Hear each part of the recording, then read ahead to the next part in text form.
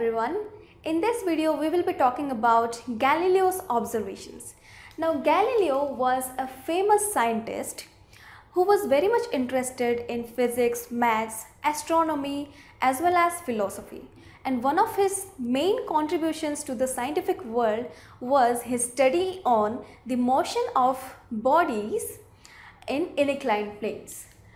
Now he uh, found out that when a body, I mean a moving body has no external unbalanced forces acting on it, then there will be no change in its velocity of movement. It will be moving forever with the same velocity throughout. And when a body uh, rolls down an inclined plane like this, its velocity increases. That is, it has certain velocity uh, when it started rolling from this point, but by the time it reaches the end of this end, I mean here, its velocity has increased. Now, when a body climbs up an inclined plane, what happens is its velocity decreases and it reaches to zero at some point of time. That is, when it, uh, it climbs a certain inclined plane, its velocity decreases. Now, what Galileo did in his experiment was that he placed two such inclined planes in such a way that these two planes faced each other like this. Now, Galileo argued that when a marble is uh, released from this height, that is this point here, then it would roll down this first inclined plane and then it would climb up the uh, second inclined plane and what will happen is it will reach the same height in the second inclined plane as well. Now what I am trying to say is here these two uh, planes are identical in their angle of angles of inclination that is this.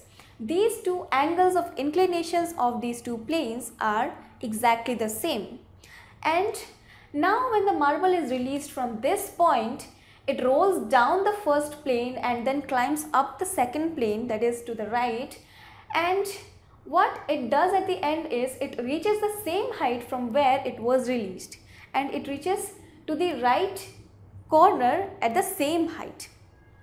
Now when the marble is released from left it would roll down the slope and go up to the opposite side to the same height from which it was released. Now here what happened is these two angles of inclinations were the same. So when this marble has covered the same height, it has also covered the same distance. That is the distance that it has covered while rolling down is exactly equal to the distance that it has covered while rolling up in order to reach the same height. That is this distance is equal to this distance. Okay. And this is because the two angles of inclinations are the same. Now, we can vary these angles and study what can happen afterwards. Now, what happened in the first case was the uh, marble has rolled down the first plane and then it has climbed the second plane and it has reached the same height by covering the same distance on both the sides.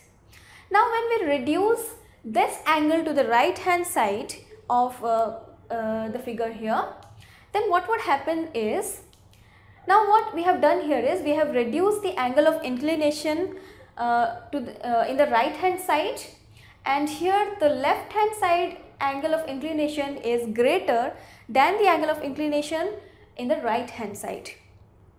Now what happens here is the marble again rolls down and climbs up the right hand the right side inclined plane and even in this case it reaches the same height in that side.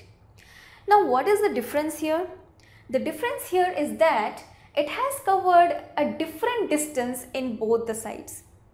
That is the distance it has covered to reach the same height in the right hand side is greater than the distance it has covered while rolling down from this inclined plane and this is because the angle of inclinations are different and in this side the angle of inclination is less as compared to the left side. So here the marble rolls up and covers a greater distance in order to reach the same height in the right plane. Now let us even more, we can even decrease this angle and find out what happens. Now when we decrease this angle to a further extent, then what happens is in order to reach the same height, this marble covers even a greater distance that it has covered before. Here it has covered a further more distance than it has covered while rolling down. And when we uh, when we decrease this angle to the uh, right hand side again, we see that this marble covers even greater distance in this case. That is, in an attempt to reach the same height to the right hand side, it covers a greater distance. Now, if we go on decreasing this angle to the right hand side, then what would happen is eventually we would make this angle to 0 that is we would reduce the slope of this right inclination to 0 and in that case what will happen is the marble will roll down this first plane as usual but it would it would roll uh, to the second plane forever. Because no matter how long it rolls it would never reach the same height that it has initially released from. So in this case the marble rolls forever in an attempt to reach the same height. So what happens is the unbalanced force on this marble is 0 here. We have assumed that we have kind of assumed that the unbalanced force on this marble is 0 but in practice, it doesn't happen and we know that very well because there are so many uh, forces which come into play as soon as a body starts moving. For example, uh, the frictional force, the air resistance and all that. And here we can conclude one thing that is an external unbalanced force is required to change the motion of an object but no net external force is needed to maintain the uniform motion that an object is already making. Okay. Now, what happens in practice is that this marble rolls down and then rolls for a while and then comes to a stop. And we know very well that this is because of the extra forces that comes into play when a, this marble starts rolling or starts moving and that is what we call as the frictional force which depends upon the area of contact of the two surfaces and here we can also reduce this effect of frictional force by uh, just simply modifying the surfaces that are coming in contact while the marble rolls in this inclined plane.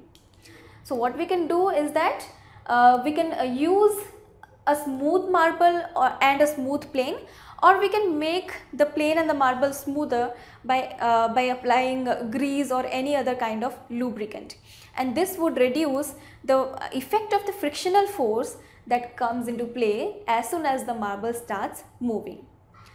Now from this experiment, this whole experiment, what Galileo concludes is that it is the tendency of the body to oppose any change in its state of motion or rest. That means that if a body is in a state of rest, then it is its tendency, that is uh, the body has a tendency to maintain its state to rest.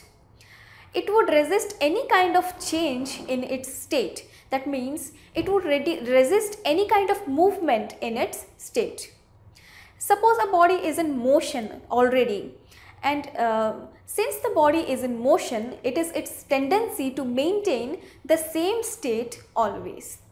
So, here the tendency of the body is to oppose any change in its state of motion, be it a state of rest or a state of motion. Now this tendency of a particular body has got a separate name and uh, which is called as inertia. So inertia is the property of any body we take to oppose any change in the state of motion or the state of rest in whatever state they are already existing. So, in this video, what we have learned is the velocity of the body increases when it rolls down an inclined plane and it decreases when it rolls up an inclined plane. If the body rolls, if the body rolls between two planes inclined equally, then it will attain the same height on both the sides as we have seen in the Galileo's experiment. If the inclination of the second plane is gradually decreased, then the body rolls over a larger distance in an attempt to reach the same height from which it was released. When the second plane is made horizontal, the body continues to move indefinitely. But in practice, the body comes to rest after some time because there are certain forces like force of friction which come into play whenever the body starts rolling or the body starts moving. When the surface of the second plane is rough, the body would cover a lesser distance. Now when the body, uh, when the surface of the second plane as well as the surface of the body is a little rough, which means that there will be a frictional force which is greater in this case. And this would make the body roll a lesser distance because the frictional force here is more as compared to the one it would have when the surfaces are smooth. Now from this whole experiment what Galileo concluded was that it is the tendency of the body to oppose any kind of change in the state of rest or of motion which it is already into. So with this we have reached the end of this video and I hope the Galileo's experiment was fully understandable to you. Thanks for watching. Tutorialspoint.com Simply easy learning.